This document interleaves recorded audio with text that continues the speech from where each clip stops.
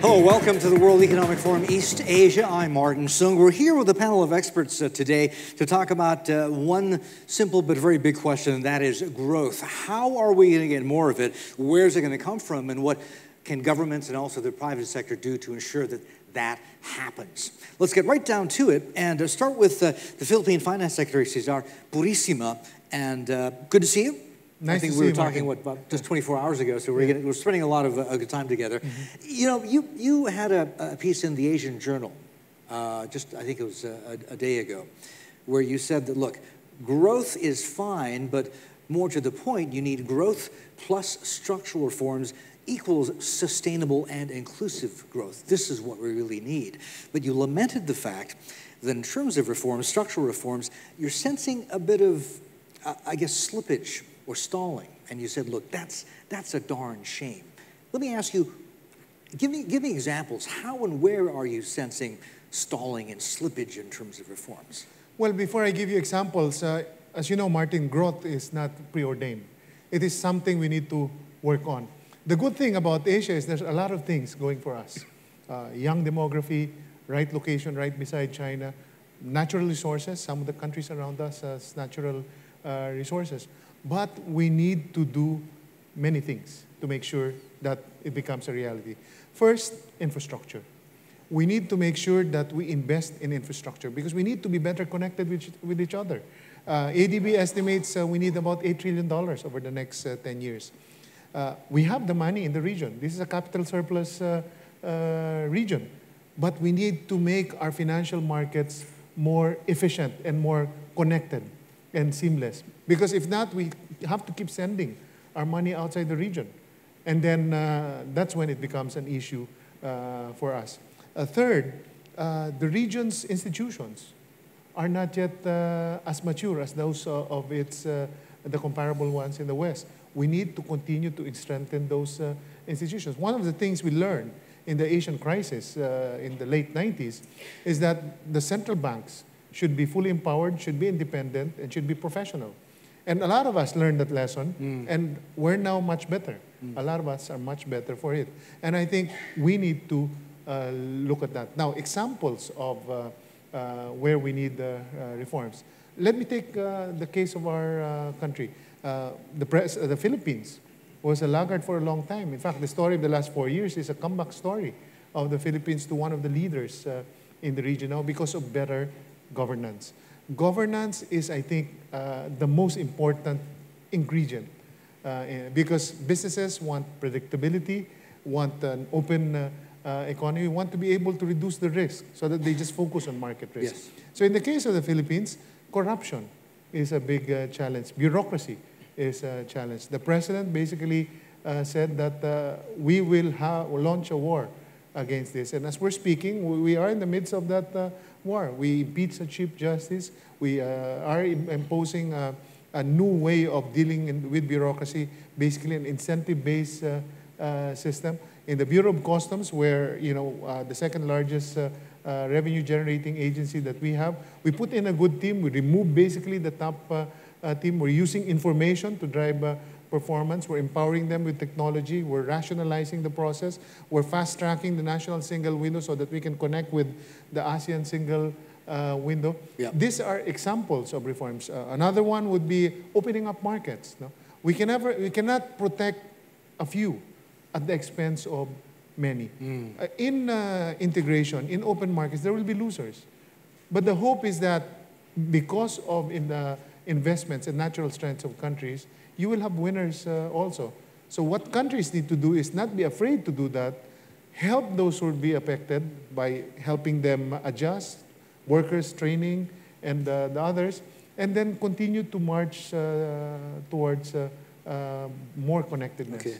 Right, don't mean to be rude, but this sounds like your op ed piece yesterday. but getting back to the original question, where do you sense there is stalling or slippage in terms of reforms? It doesn't have to be in the Philippines, but, but just generally in this part of the world. Well, um, 20 years ago, we were challenging with fiscal issues. A major component of that uh, problem was uh, fuel subsidies. Yeah. Uh, there are areas uh, th- uh, where we have subsidies as well. We must resist the uh, populist uh, uh, tendencies to, to uh, support certain sectors that can end up being a, a black hole, Okay. a financial black hole. Uh, pensions is uh, another. We have a positive uh, uh, de- uh, demography right now, but that can, can come back to haunt us. We must deal with the problem uh, uh, Okay. early on. Uh, rice, in the case of the Philippines, we have a quantitative restriction. We have a very high tariff. We need to open it up.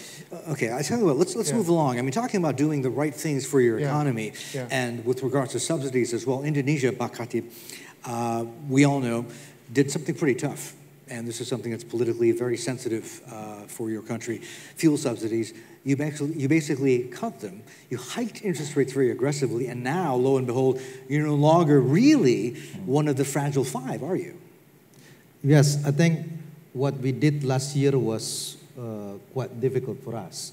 The first one, when we decided to choose stabilization over growth, um, at the expense of the slowing down of our economy. We raised the interest rate by 175 basis point. We adjusted the fuel price by 44%, and we slowed down the growth. But I think this is good to provide a good uh, ground for our macroeconomic stability. And as you see now that, you know, the financial sector is much more stable. Yeah. Our current account deficit is in the better shape. But I think, Martin, this is not enough. Because if we're talking about Indonesia in the medium term, we cannot continue only by focusing on the tightening cycle, the counter-cyclical or fiscal or the monetary. I think I agree with what Cesar said. Um, in the medium term, we need to expand this country by supporting on the supply side. And if you're talking about supply side, the main critical issues for Indonesia, the first one is quite similar with Philippines, is infrastructure, especially related to the issue of the, you know, land clearing, land procuring, because we didn't have the eminent domain law before. This would be the big issue. Fortunately, by 2015, we will have this uh, land bill. The second one is the quality of human resources. Because I don't think the country like Indonesia can continue to rely on their natural resources or the cheap labor. Yeah. So I think we need to move into this, you know, uh, knowledge-based economy, good quality of human capital. Okay, I want to stop you here. I mean, it's all well and fine talking about these things that Indonesia uh, has already done, and laudably so, and the things that uh, are, are yet to come. But the reality is, in terms of continuity, really nobody knows. Isn't that true? Because come a month, what are we talking about? A month, month and a half's time, there's going to be a new government. You may not be the finance minister anymore. Likely won't be. How confident are you that the things that you've done under the SBY administration will, the reforms, will endure, can last, can continue? One thing that I learned on the decision-making process, usually when approaching the election, you know, the politician always come up with this political gimmick in order to get a popular su- support. But let me perhaps talk with a number, Martin. Whoever become the president in Indonesia, in order to gain the, you know, political support, both, you know, both candidate need to provide growth in order to create jobs to reduce poverty. Mm. And if you want to provide jobs, you need investment.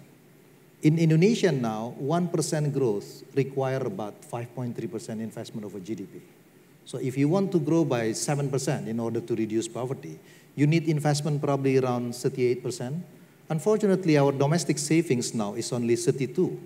There is no way Indonesia could achieve 7% growth if this is not supported by the foreign capital. So my point is, whoever become a president, once they are in power later on, they will be, you know, constrained by the economic national uh, economic rationality to become the market friendly. I want to get your comments on this very quickly. We managed to spend some time with one of Indonesia's uh, top tycoons, whom, whom I won't name, but I asked him point blank uh, whether it's Jokowi Kalla, that ticket, or, or, or, or anybody else.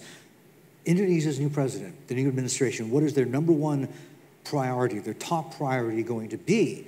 And bluntly, he told me, surviving two terms, getting reelected for another term. Does it, is it fair to say that it takes that long to get reforms through in Indonesia? Well, I think the first, um, the first things that we need to do is to ensure the political stability. I think the president, SBY, had set the tone by having two terms and put the political stability, so allow us to do some reforms. I think for the next president it's quite similar. The more focus is similar, quite, uh, quite similar with Philippines is on infrastructure. As I said to you, then you know on the issue of the human capital, and need somehow uh, sort of like supported by good governance and also the strong government. Interesting. Secretary, back to you just very quickly. You've got, uh, I think, Noynoy administration. You're part of it. Obviously, has what is it? Three years left, right? So you're halfway through a, a, second term. A lot of people would look at that position and go, "Uh oh, lame duck." How much more can you get done in terms of reforms in your remaining time? The good thing about uh, President Aquino is extremely popular. So he has the political capital to make sure that in the last two years of his term, he's able to follow through yeah. on the reforms on the first uh, uh, four years. In fact, as we speak, we have several major um, legislation in Congress. Uh, new uh, charter for the Banco Central, uh, customs modernization law, uh, rationalization of incentives, so on and so forth. So I think we will see this through. And as you know, uh, I think uh, what's happened the past four years also in the Philippines. Is 60 40 going to change? I'm sorry? Is 60 40 going to change in your remaining three years? Well, the, there is a bill uh, right now in Congress that uh, will further open up uh, uh, the economy that will not require a constitutional change. Ah. So I think in a change process, you have steps. No? And we're still in the early part of of uh, the change uh, agenda, there mm. are things that we can still do without uh, mm. tampering with the Constitution. Mm. and I think our focus is to make sure that we use the political capital for the maximum immediate mm. benefit. -hmm. And as I was saying, President Aquino's main achievement, I think, is really in the empowerment of people to reverse apathy to one of ownership and I think uh, this is ultimately what's going to make sure mm. that the changes he's done in the country will be continued beyond uh, his term. We have an empowered citizenry who has access to information through mobile telephony and uh, uh the internet. You know, we've seen changes in the world that we never thought we'd seen in our, see in our lifetime. Mm. I mean, regimes that we thought will be there forever, but they're gone, mainly because people now are empowered. And I think the biggest gain in the Philippines the past four years is people know the impact of good governance on their own lives, that they actually have better potential, they have better chances of actualizing their dreams mm. with good governance. And I think they're going to push for that. Okay, and you, have made the point before that good governance is also good economics. Exactly. Correct? Yeah. Okay.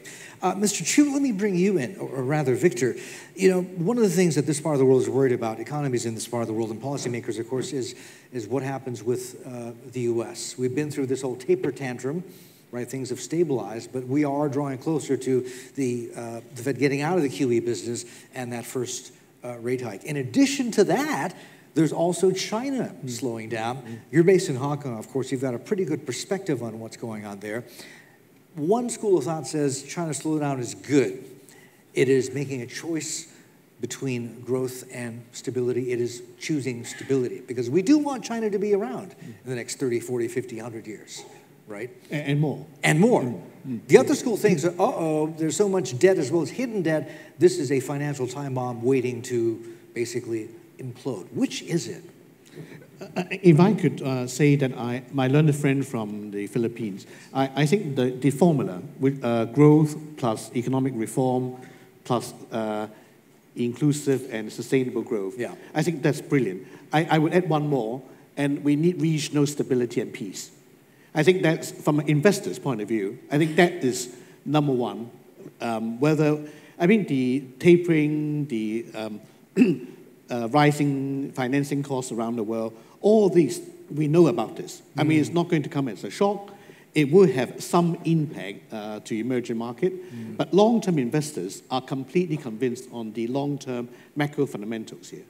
But all the, all the macro reform agenda that we talk about, we know about, we know it has to be done, mm-hmm. is going to be distracted if we don't have stability, either in individual countries or regional peace. Yeah. I think that's the number one, that's the number one thing. Chinese debt is, right now, is containable because mm-hmm. we call, I mean, shadow banking is, is actually the wrong um, terminology. We're really talking about the secondary banking sector, the non bank financial institution. The good thing is the Chinese government got to grips with it fairly early on. So it, as a percentage to the, to the system is manageable. And also, we can't assume every single debt from this secondary banking sec- sector is bad. They're not. Only a fraction of it is bad, and one has to deal with it. And that is actually is a worldwide phenomenon. That's part of the legacy problem we inherit from the, from the crisis. Mm. We have a massive stimulus. And of course, now we have to deal with the, the aftermath of that, mm. right? And that's the same thing. The longer we have zero interest rate, the more painful it will be at the back end, right? But you can't really withdraw the, the low interest rate right now because the recovery in Japan, in America, in Europe is still quite fragile, hmm. right? Now, East Asia depends on three, three big blocks China, Japan, and US, right? Japan, the first two arrows, has been very successful. Japan is back, it's back on the radar screen. There's the dynamism, you know, you know, activity, energy. Well, well, for how long is the question? Well, Exactly. Without that third arrow. Exactly. Yeah. The third, fourth, and fifth will need help. And Japan also needs stability as well. Hmm. Because if, if the regional conflicts are, are not resolved in a rational, sensible manner, it's going to be distracted in uh, Japan's economic reform, Okay, well. let me stop you there, Victor. I have two questions uh, with regards to your first point, uh, uh, regional stability uh, uh, and security. What really do you think, personally, all right, and I have to make a distinction, you're based in Hong Kong, right? What really are China's intentions It's not in just, the South China Sea? No, no, there's no, um, it's not China's uh, intention. I mean, these are very complicated issues when you're dealing with uh, economic, exclusive economic zones because they, they overlap. And there's no, no perfect answer. It has to be something that one has to sit down and through a process uh, sort it out for mutual, mutual interest in the long term, right? And, um, and it, now we have a window here because the way that economic, economic impacts, there's a delay reaction. What happens today will manifest in six, nine, 12 months' time. We have a window here that when the dust is settled, excitement is settled, people have to sit down and find a solution. Okay. I'm saying this as an investor in the region, right? Because otherwise, and I would go for the safe havens in, uh, in, in, in elsewhere. But I'm convinced on the macroeconomic dynamics here, long term, but the million dollar question is we have to see their efforts from all sides to come to census, talk, and be, be able to find something. With regards to the South China Sea? yes, the difficulty is Okay. everybody is now looking at, at their, their domestic economics, the domestic politics at play. There are changes of government, and um, but once all that is settled, people can, can sit down and talk.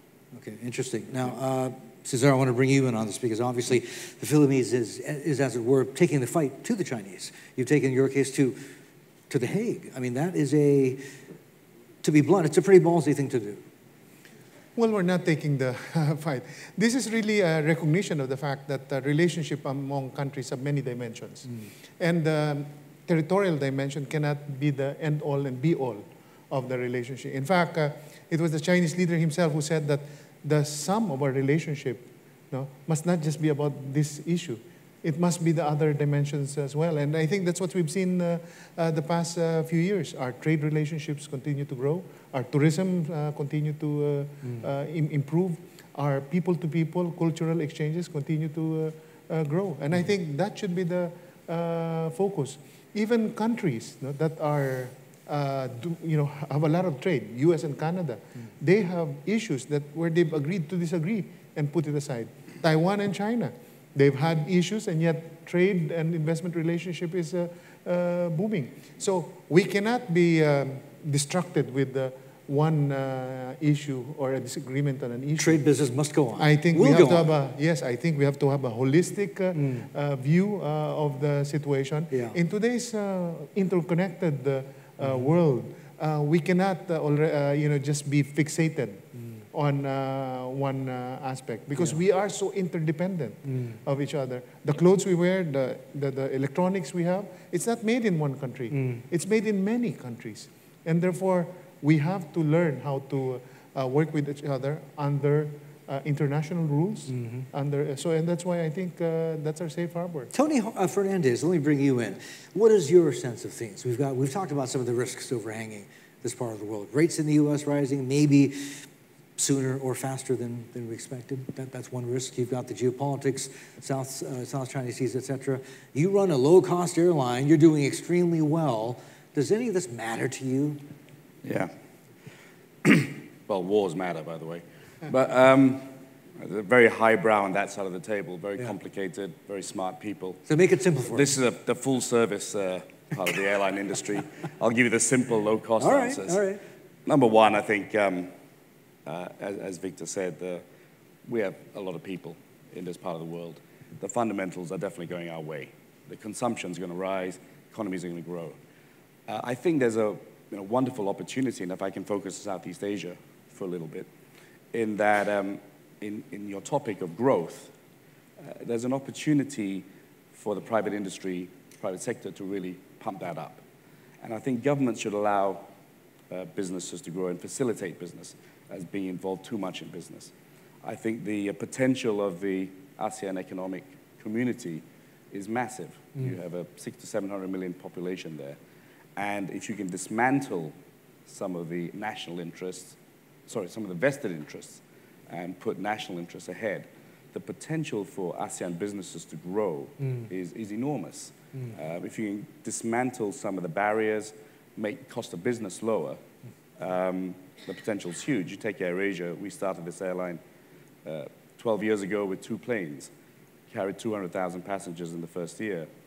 We have now grown over the last 12 years to 160 planes and carry 50 million passengers. Most of that growth has come through ASEAN by connecting communities that weren't connected. Uh, 80% of our routes are new routes that were never done before in ASEAN. So, so, so let me ask you, I mean, with AEC, the ASEAN Economic Community, Single Common Market, which is supposed to happen next year, 2015, uh, we're supposed to see exactly that, more interconnectedness, right? Lower barriers, freer flow of goods, trade services, people, et cetera. Does that apply for aviation as well? Well, I think we're moving in the right direction. I think uh, open skies, there are a couple of countries that haven't ratified the open skies yet, but it's uh, moving in the right direction. Certainly, you know, from 12 years ago, uh, connectivity has improved dramatically. Uh, but there's a lot still to be done, in my opinion, in terms of really opening up. Because open skies is one thing, but there are many invisible barriers that still exist. You can have open skies, and then the airport says, I've got no slots anymore. True, yeah, infrastructure. Um, we get but back the national airline gets all the slots as well. Yeah. So I think if we really, and, and there's a disconnect, I think, between what policymakers and what private industry think. Mm-hmm. And I think a big drive for policymakers is to engage the private industry more Mm-hmm. and see the reality. I think there's lots of conventions, lots Yeah. of statements coming out from ASEAN. Yeah. Um, everyone feels good, a lot of bullish statements. But the reality is something different. And um, I think communication has to grow between the private sector Okay. and uh, government. All right, Cesar and also Pak Chatib, want to put both of you on the spot. With regards to aviation, I know for a fact that neither the Philippines nor Indonesia have signed on to open skies yet. Why? Well, uh, first, I'd like to point out that the president um, made uh, skies outside Metro Manila uh, uh, open sky. So that's what we call uh, pocket uh, open sky. And the challenge really is congestion in Manila. So we need to fix uh, first the uh, infrastructure uh, bottleneck in the aviation industry. Uh, we would like to have more connections, and we thank uh, Tony uh, for connecting uh, cities in the Philippines now to the rest of uh, the region. And we've seen the benefits. Um, as, I, uh, as the tourism secretary said, our tourism numbers have increased 60% since President uh, uh, Aquino. Uh, secondly, I think uh, in all the ASEAN countries, you must re- realize that they operate in a political environment. And therefore, uh, change must be done in a manner where you continue to bring the people with you. And there must be steps. Now, we can, uh, sometimes we are lucky we take uh, big steps, no? but uh, it's okay to take uh, small steps so that uh, you continue to move in the right uh, uh, direction and have the support. So the bottom line is infrastructure has to catch up first before open skies, before you sign on to open skies. Yeah, because uh, if you just have congestion, then Yeah. you'll have problems. What's the point? Exactly. yeah. Okay, Pak Chatib? Well, we have a quite similar problem uh, with Philippines actually. Let me give an example about Sukarno-Hatta Airport. the capacity is only about 25 million passengers. Now it's worked for about 59 million uh, passengers. So I, I do understand that the demand is there, but need to be supported by the strong supply capacity. So talking about this infrastructure, I think this is, would be the, the first priority of the government before we can move into the, the next stage. Mm. Okay, interesting. And uh, Mr. Lee, uh, didn't mean to leave you out, but let's bring you in on this as well. You're uh, South Korea's G20 Sherpa, but you've also, in, in a previous life, I guess, spent quite a lot of time at the fund. Right. Uh, correct. When you've been listening into what these two gentlemen here, the policymakers, have been have been talking about. What is your sense? Because what I see is what I what I worry about is in the case of both the Philippines as well as Indonesia, is developing economies which maybe focus a little bit too much on the consumption or consumer end of development, not having fully developed the middle part, manufacturing, heavy industry, et cetera, or for that matter, maximize agriculture as well. It, do you read it that way as well or not? Well, if you look at the development history in the last two decades or so, what happened was there was a shift of manufacturing base from the advanced countries to the EM countries, particularly to Asia. What has happened is the product market, the purchasing power there, has lagged behind in terms of shift to EM countries. During the, uh, the years following the, Asian, uh, the global financial crisis, because Asia's economic growth was faster than the advanced economies, there was indeed some acceleration of the shift of the purchasing power. For Asia to remain on a sustainable path and remain the uh, engine of uh, global growth, you need to have a system that allows the continuous growth of the middle income group because ultimately what drives an economic growth is on the demand side is the desire for improved living standard by the many. And for that, you need to have a system that ensures, and for that, you need to have a uh, system that re reduces income inequality because income inequality essentially is a, an end product where, for many reasons, the wealth of the system ends up with the few, mm. and thus the demand potential is reduced. Um, so, but that's on the demand side. On the supply side, you need, of course, a innovate, continuous innovation that, particularly the coming decade or so, uh, you need an innovation system that allows less or efficient, more efficient use of energy resources because mm. as more middle-income groups come into the stream, natural resources are limited, and thus you need a technology that will enable uh, the natural resources to support the growing middle-income group. So essentially two. One, a system that allows the growth of the middle-income group in Asia. Two, mm. innovation that allows more efficient use of natural resources. Okay. All right. Hold that thought, Mr. Lee. We'll come back and talk more as uh, when we uh, come back. We're going to take a quick break. When we continue, we'll talk about growth without leaving too many people behind after this.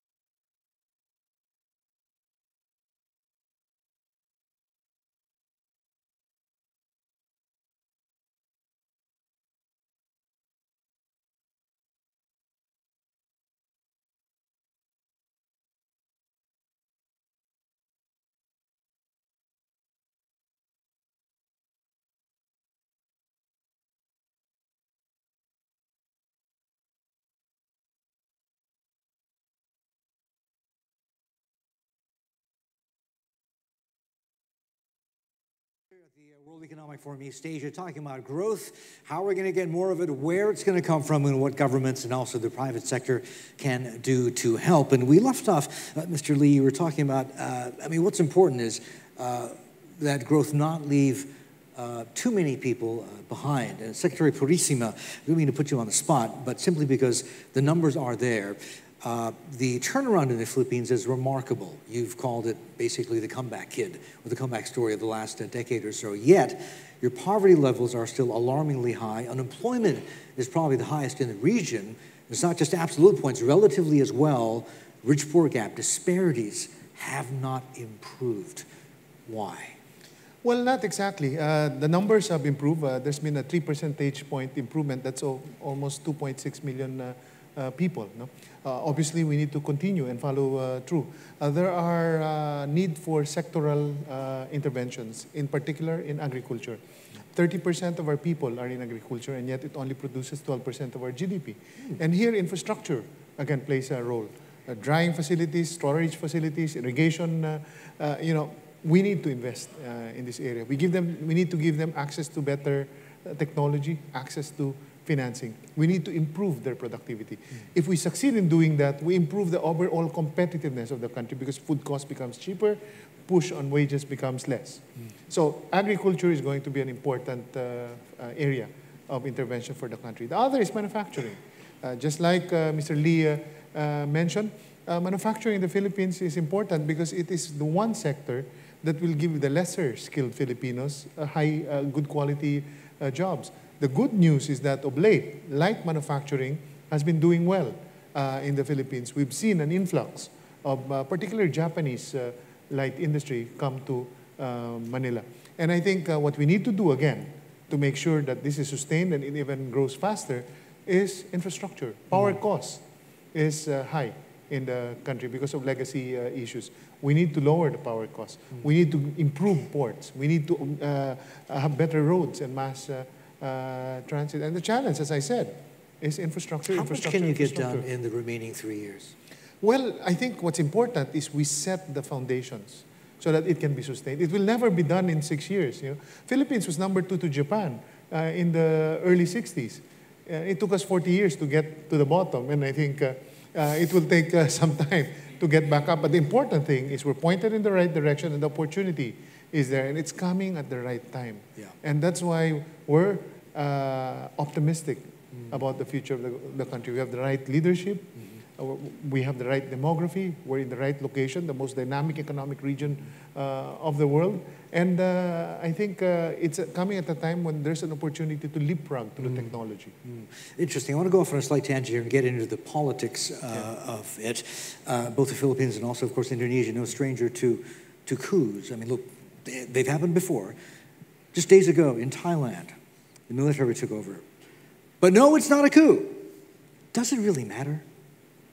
Well, I think, I think the political stability is important, um, Martin. But I think uh, we also learn from the history. You know, once the market more mature, the business, you know, move into certain direction, then there is a sort of like separation between the political activities and then economic activities. But somehow, you know, this need to be supported by the political stability as well. I don't want to give a comment about what's been happening in Thailand, but I think you know uh, political stability it's something uh, necessary for the you know for uh, um, providing the good economic growth. Okay, let me ask you another question. I mean, uh, we know, as in the Philippines, infrastructure build out and roll out is essential.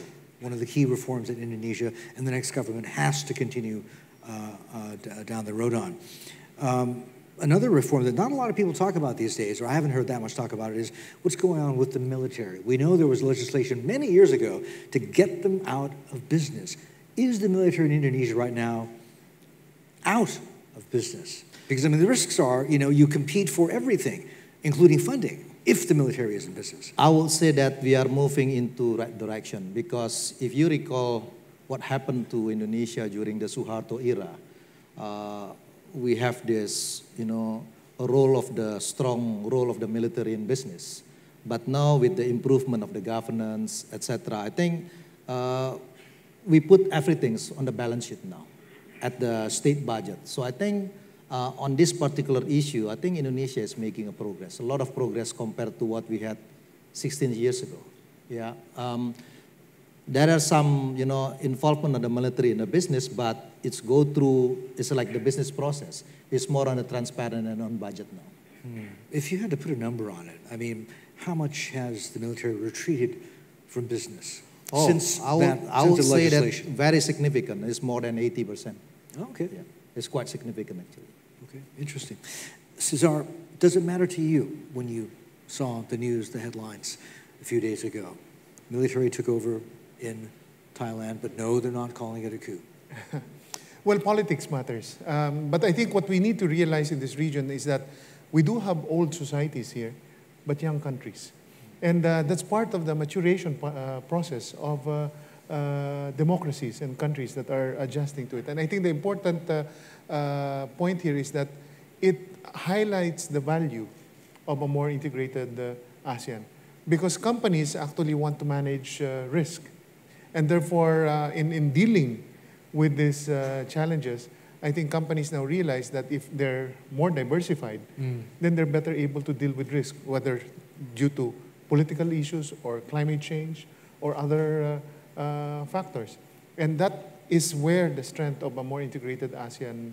So, uh, so in other words, what you're saying is basically more open, freer movement of goods, uh, services, capital, yeah. people, etc., yeah. would allow uh, economies as well yeah. as countries to literally, physically, work around situations like, let's say, Thailand. Yeah, and our own experience when we were hit with Typhoon uh, Haiyan, uh, the BPO companies in the typhoon hit areas were able to move their processing in the areas not uh, hit by Typhoon Haiyan. Mm-hmm. And I think that's how uh, uh, it should be. And I think uh, the one good thing about the challenges that we face, uh, the Philippines faced challenges in the, in the 70s and 80s uh, also. It did affect us. No? Mm. So the one thing good is that we're learning from this, mm. that we need political stability, uh, stability to be able to attract uh, businesses. Because yeah. businesses don't want additional risk. Mm-hmm. It's tough already to compete in the market. Mm. But they don't want further complication. And I think that's where uh, you know, all of us uh, should focus on, make sure that we create a stable uh, uh platform for Tony, business to grow. obviously you do business in Thailand. Uh, when you heard the news, military taking over, but no, not a coup, what was your first reaction? Did you go, oh no, not again? No, we thought it was a great opportunity to let people see what tanks are on the streets. so we're promoting around ASEAN to say go to Thailand and, and see what a coup that's not a coup is like. so there's always an opportunity. There's a, but seriously. But, but seriously, no, I mean, you know, we've been through a lot over the last 12 years, uh, a lot in Thailand as well. But I think there is a little bit of a, again, it's a slight disconnect. I think people are a little bit immune and business goes on. Um, we haven't seen any slowdown in numbers at all.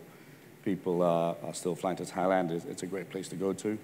And um, with, with the sharp end, you'd, you'd see it first mm. in our business. So I think there is a strong resilience and I think that is um, very prevalent in Southeast Asia because we've been through a lot of crises. Mm. People are battle hardened here, and we're quite adept at dealing with uh, situations. For, so at this point, I mean, when there were lots of demonstrations and riots, and then yes, it affected. Sure. Um, but actually, when there's a little bit of stability, I mean, right now there is a little bit uh, with the army coming out we actually see the numbers increasing, which is, which is bizarre. Your numbers are increasing? In Thailand, yes. Ah, um, so, uh, you know, it is a little bit of a dichotomy, but that's, the, that's a fact. A bit of irony as well. Just okay. if I could just go back on, when you, on, on equalization of people, I think two things governments have to look at as well is education and health. I think these are two things that you know, everyone talks about infrastructure, infrastructure, but these are, are important parts of infrastructure, the mm. human capital mm. part of uh, um, infrastructure. And I think education must be freely available um, and must be focused, skills driven, etc. And I think technology can play a big part in it because education infrastructure is expensive mm-hmm. and trying to provide education and pay for it, etc. Um, and I think technology and what you're seeing with Khan academies, etc., leads governments a tremendous opportunity to give access to its people, hmm. uh, uh, education at much lower cost, and then productivity increases okay. as, as people are more educated. And I think health is also very important. There's a big gap between the state system and, and private health. Yeah. Um, and the state system will always be burdened because you know, and that, that's freer. So but that means opportunity. There must the be opportunities well. for something in between. You know, yeah. a low-cost health system. Yeah. You know, what does that mean? Are we going to charge you for oxygen when you come in, or uh, you know, give you half a Panadol? but I think innovation has an, there's an opportunity to do that. But I think it's very important that governments see that part of this infrastructure development must include education mm. and health. And healthcare. Okay. We're going to take a quick break. We'll be right back here at the World Economic Forum East Asia.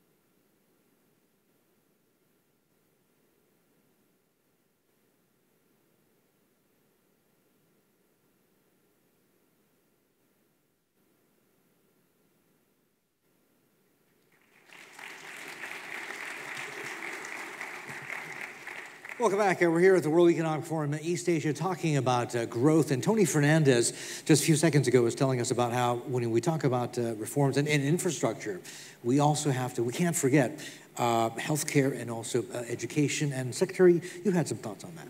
No, I fully agree with uh, Tony. education is the great equalizer. That's exactly what President Aquino is doing. Since his term, we've almost doubled the education budget.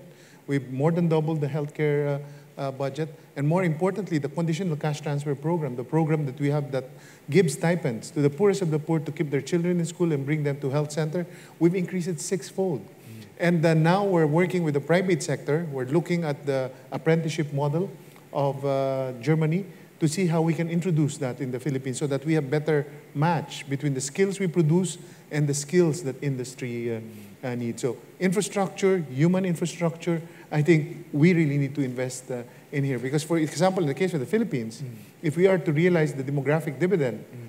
we have to educate our people. Okay, no, necessary as well as noble. Where's the money going to come from, though? You've done fantastic work uh, in terms of fiscal consolidation, but all these plans are going to require uh, revenues, and you do have a very, a very narrow tax base. Well, um, since uh, President Aquino took office, we've increased the fiscal space principally by reducing the cost of uh, interest uh, from the reducing debt to GDP that uh, uh, we have, but better utilization of our resources, mm. less in, uh, inefficiency, less corruption, mm. and introduction of zero-based budgeting. Okay. so we've been able to get more out of limited resources. Okay, interesting. You know, we've been talking about healthcare slash welfare reform, infrastructure, and Secretary Purisima just referred to it uh, corruption or anti-corruption and reform of, I guess that also means in many cases, reform of the civil service, the public service as well. Three key reforms that any government, new government in Indonesia will also have to tackle. If it is the Jokowi Kalla ticket, how much movement are we going to see on all three fronts? Well, before I, I answer your question, Martin, perhaps let me give some background behind it, and I'm and later on, I'm hoping you forget about your question to me about Jokowi. um, first is, let me give the, the global context first. What, what's, what will be the face of the global economy in the future? The first one is, if you're looking the global situation with the US and the Europe having a deficit on the current account and the fiscal, I do believe that the rebalancing must take place. Because US one day they'll become an exporter. They become a savers rather than spenders. Then the question is, what will be the locomotive of trade? It's no longer in the advanced country, but will be in Asia. But unfortunately, the problem in many Asian countries, you know, we still have facing a problem about inequality, urbanization. So that is why those issues regarding this healthcare, education, access for education, infrastructure become very crucial. Because if Asia fail to address this issue, then you know we cannot rely on the advanced country because later on they will change their role as the locomotive of trade. It will shift to Asia, but Asia is not ready yet. So this is the burden for every leaders in Asia. Mm. They must deliver this kind of reform. Then let me take your question about Jokowi. Thank you. I think the most important one, I'm not referring specifically to him, but his looking at the approval rate is quite popular. One thing that you know it's very important is if you deliver your policy, you get a political support. If you get a political support, it must be easier because if I recall what happened with the IMF in Indonesia back in 1998, the program itself was pretty good. But since they didn't get the political support, people do not have the ownership of the program. But if you have you know, a leader with get a political support, and I think it's much easier for you to deliver all this issue about healthcare, about access for education. Mm-hmm. We'll see whether Jokowi will win the election or not. His approval rate showing that he's quite popular.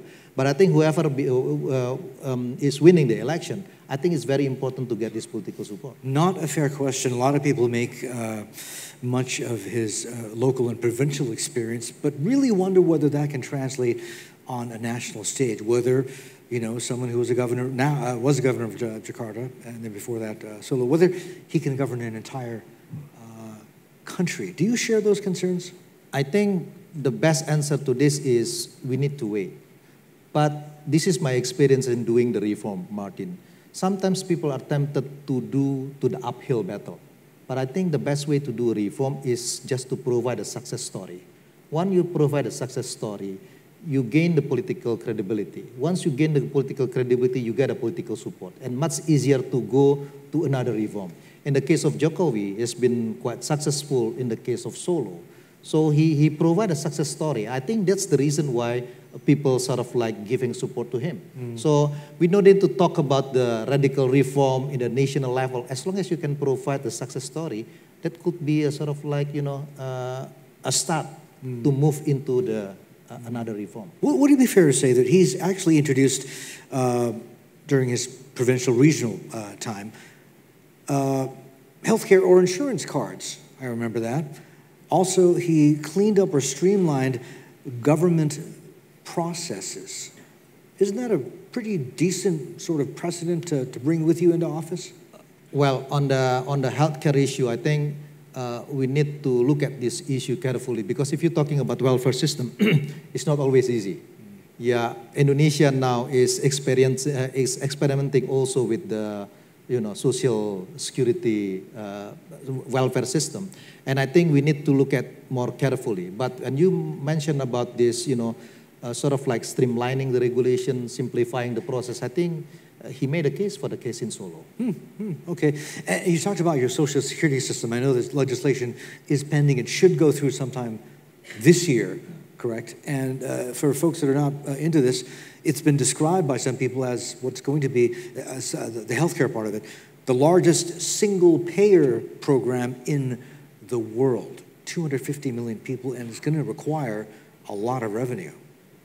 As a Minister of Finance, I would say that we have to move step by step. Because one of my concerns is if you learn from the you know, uh, welfare system all over the world, the problem is unfunded. The other one is we, have, we need to look at about the composition of the demography as well. Once the country move into the situation in which that's with the aging populations, it's become a burden.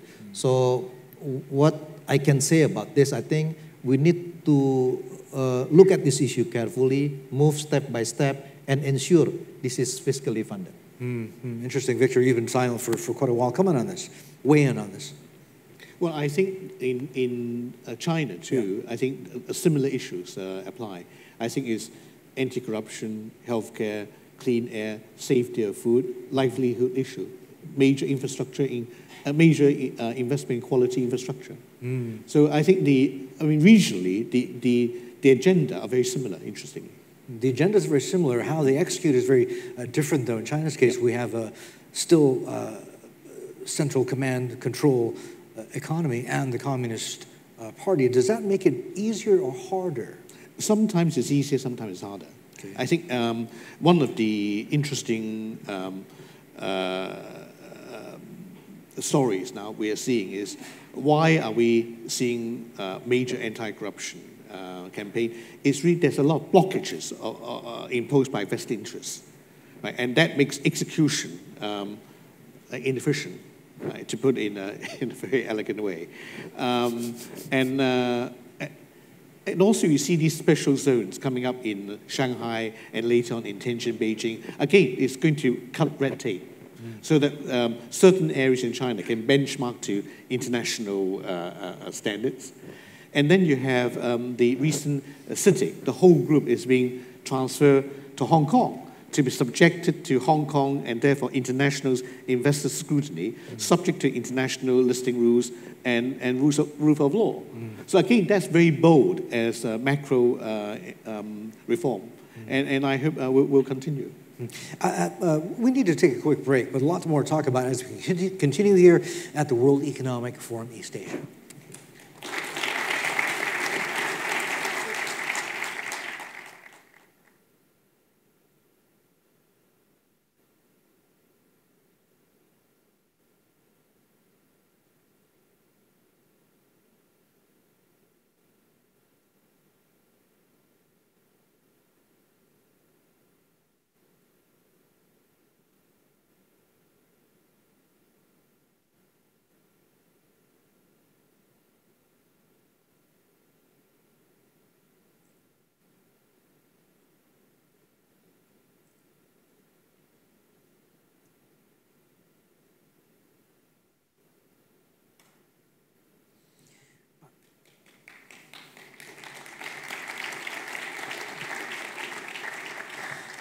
Welcome back. Uh, you're still with us here at the World Economic Forum East Asia. We're talking about growth and the way forward in a growth challenged uh, world. Uh, Mr. Lee, let me uh, bring you in on uh, this. Uh, what, what I basically want to talk to you about is from your experience in the past at the fund and looking at the sort of way the trade is developing out in this part of the world. You've got two competing models, or models that are trying to compete against each other TPP, RCEP right? Uh, multilateral system is pretty much uh, broken down. Both of these gentlemen here represent countries, Mr. Purisima, Chatib, uh, which have not been very keen to sign on to the TPP. China happens to be Indonesia's number one trading partner right now. So uh, it seems as though both economies are very much already in the RCEP or, or, or China camp. Is that necessarily a good thing? Well, you know, TPP and RCEP both mega FTAs, but they aim for different things. TPP essentially is aiming not only for free trade in terms of merchandise trade exchange, but also to establish common standards um, and regulations governing procurement issues and so on. So it's more focused on advanced economies as well as EM economies to facilitate not only exchange of uh, merchandise trade, but the whole F, uh, capital flows, labor flows, and exchange of ideas. So it's uh, probably a higher standard than what we are trying to aim for in the RCEP. Because in, us, in Asia, as you know, the, it's a very diverse group of countries, different stages of economic growth. So what we need to achieve within Asia is initially a closer economic integration, acknowledging the different stages of economic development, and achieve. And that's, I think, what RCEP is trying to do. TPP, on the other hand, is sort of a further deepening that includes the whole regulatory environment. Mm. Okay. So I think they're not competing. They should go in tandem. And as countries get ready, they can join one and alter the other. Mm. You know, Secretary, we've talked about this before when I spent time with you a couple of days ago, and we were talking about the uh, maybe not sea change, but it's been a bit of a 180, has it not, for the Aquino administration in terms of your interest in uh, TPP. Now you're pretty keen on being the second wave, right? Yeah. No, in fact, uh, the president uh, expressed his interest uh, from day one. but as you know, they're just going to the first 12 countries. And we don't really know how high the standard will be until they have an agreement with the first 12 uh, countries. But we did express our intention mm. to be part of the second uh, batch of uh, countries. So, South Korea also has been knocking on the first batch of countries. ASEAN is engaged with RCEP. No? Mm -hmm. I think for countries like the Philippines, it's important that we be part of these two large uh, free trade uh, mm -hmm. agreements. Um, uh, TPP covers over half of the world's GDP. RCEP is also huge. No? Mm -hmm. So we cannot have a competitive disadvantage vis-a-vis our uh, neighboring countries. Well, Chatib, you're on board, Indonesia is on board with RCEP by uh, virtue of the fact that you're part of ASEAN as well. What about TPP? I think Indonesia is, you know, um, watching this TPP process very closely, but I think there are two reasons that we need to look at carefully. The first one is if you want to join on the trade agreement, it is important to ensure that you could reap the benefit of this trade agreement. It is true while joining this trade agreement like TPP, you get a market access. But the first question is whether in the supply side, you could reap the benefit. As a colleague from Korea mentioned about this very high standard. So it's not easy, you know, for some countries, they need to sort of like to increase their capacity 1st mm -hmm. The second issue, I don't think that we can exclude China because China has become a very important trading partners in Asia. You know, most of the Southeast Asian countries, they trade with China. Mm. The second... It is your biggest yeah, trading partner, right? It is. Yeah. So that is why this is also a very important, you know, uh, consideration. Yeah, because I think if you're talking about the trade agreement in the region, if China is not there, I don't think that it's not easy to sort of like, you know, because we exclude really a big country of it. Interesting. But uh, Victor, I mean, the, the fact of the matter is, the reality is even before RCEP, uh, with the exception of, let's say, the Philippines, China is already pretty much the number one trading partner for all of Southeast Asia. I mean, even if we go down to down under to Australia and also New Zealand. Mm, absolutely. I, I, think as a multilateralist, um, I would prefer that we, we stick to the multilateral system because But it's not any, working. Any regional bloc. It's almost dead. Uh, well, having said that, the, I mean, you will agree that the WTO is the fairest and the least discriminatory regime that we have, right? I think, unfortunately, in, in the prac- practicalities of the world, we do have to have major groupings as a counterbalance, and hopefully we can benchmark ourselves towards eventually the reform of a better WTO or multilateral system for, to have the fairest for everybody as, as a whole. I think that's my first point. The second point is I think it would be very unfortunate if TPP initially was being seen as a counterbalance towards the rise of China. I think that would, it would be very unfortunate if it proceeded that way. As a true trade and, um, uh, you know, giving higher benchmarks to trade, I think that's good. And I think there's now some talk in Washington that maybe they will invite China to be observer to get China more engaged. Maybe China cannot join from day one, but eventually, you know, when the time is right, China may become part of it. And as my friend said, that will be, that will be a, a- a welcome uh, way for everybody. Do you realistically But- but- think that could happen? It, my third point, if I may, Yeah. just finishes. I think TPP is still a question mark. The reason is the president does not have fast track, yes. right? And, and our, our trading partners here will not be able to compromise if, they, if they're not sure that the president can deliver. I mean, that's the major problem we have right now. And it's unlikely to happen uh, in, in, in, in, the, in the near future. I mean, in, in the practical politics, realities, right? So I think that's the real point. And therefore, we may have to look at some other arrangements um, to, to proceed uh, for, further. Okay. Very quickly, we're running out of time here. I want to start uh, with Victor and go right down the line in 30 seconds or less. Your growth wish list. Uh, Number one, I think we need peace and stability so that all of us can proceed with uh, macroeconomic reform, inclusive reform, sustainable reform for the benefit of everybody in East Asia. Okay. There's got to be security. Pak Chatib?